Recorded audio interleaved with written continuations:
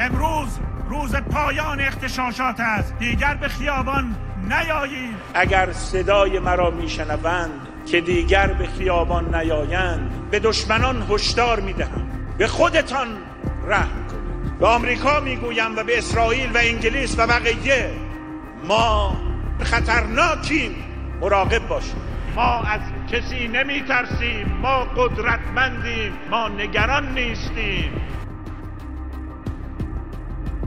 اگر فکر کردین این حرکت در واقع میخوابه به نظر من به هیچ وجه نمیخوابه شعارها رادیکال شده. اگر فکر کردید که میشه جمعش کرد جمع شدنی جمهوری اسلامی به پایان رسید